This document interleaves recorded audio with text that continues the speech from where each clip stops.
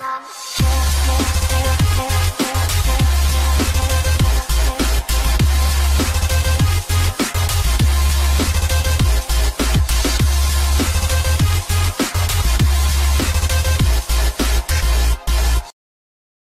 salut tout le monde, c'est Lady, j'espère que vous allez bien. On va parler aujourd'hui des événements publics dans Destiny.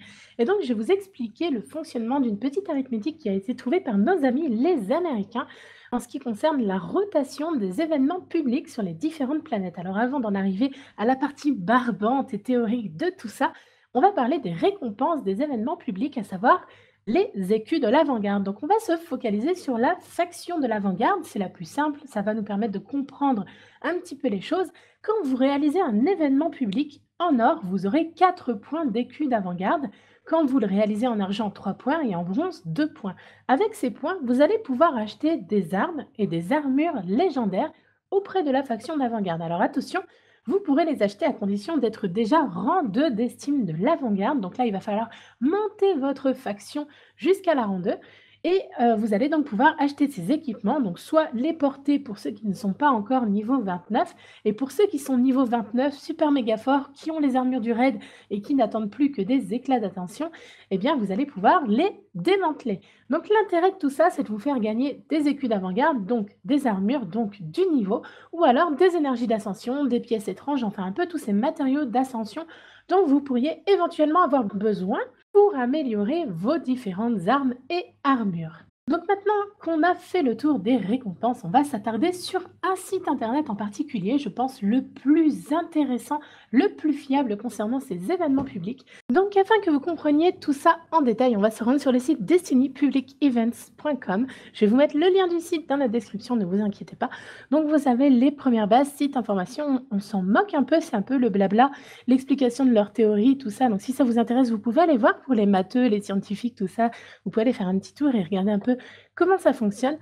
Pour ceux qui veulent du concret et du direct, vous vous rendez sur, on va prendre la première map, euh, la Terre, Old Russia, donc la plus évidente, celle que tout le monde connaît, et on va analyser un petit peu tout ça. Donc on peut voir qu'il y a cinq événements différents, la côte oubliée, Skywatch, les avions, la zone de spawn en exploration et la division. Donc ces événements sont soit en orange, en rouge ou en vert. Pourquoi? Tout simplement, c'est par rapport à leur fréquence d'apparition.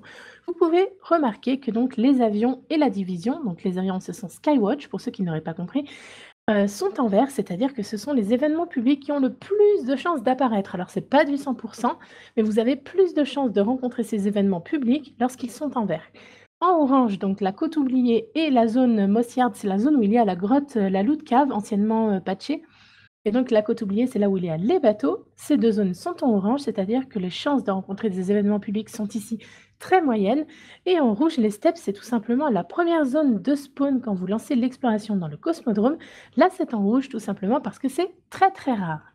Une fois que vous avez compris qu'il y a une hiérarchie par rapport à l'apparition de ces événements publics, vous allez pouvoir vous focaliser sur le timing qui est juste en dessous. Donc on se rend compte qu'il y a une série de chiffres par rapport aux, différents spawns.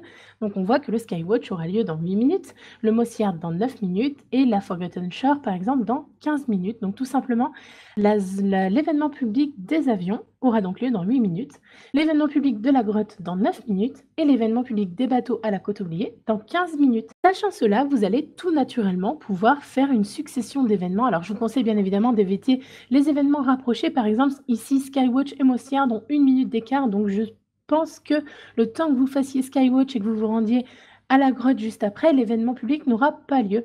Mais par contre, si vous faites celui de 8 et celui de 15 ou de 23 juste derrière, eh bien vous avez de fortes chances de pouvoir cumuler les événements publics en faisant ainsi une succession d'allers-retours entre les différents spawns. Pour ceux qui n'ont vraiment, mais alors vraiment pas envie de se prendre la tête, sachez que vous pouvez juste faire des allers-retours entre les deux zones vertes. Ce sera plus rapide et plus efficace. Par contre, vous aurez certainement à attendre plus longtemps l'apparition de l'événement public en question. Et pour ceux qui n'ont absolument pas envie de se prendre la tête, la petite information, c'est que sur la division, The Divide, c'est la zone où il y a l'événement public du Ténébrion. Sachez que celui-ci spawn toutes les 15 et 45 minutes de chaque heure.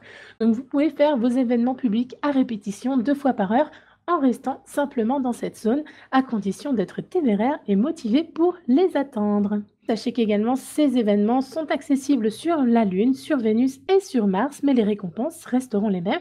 C'est juste histoire de changer peut-être un petit peu d'environnement et de vue. Voilà, c'est terminé. J'espère que ce petit tuto vous sera utile et je vous dis à très bientôt pour d'autres astuces sur Destiny. Ciao ciao